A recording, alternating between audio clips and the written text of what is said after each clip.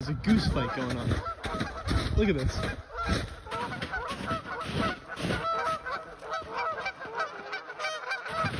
Oh.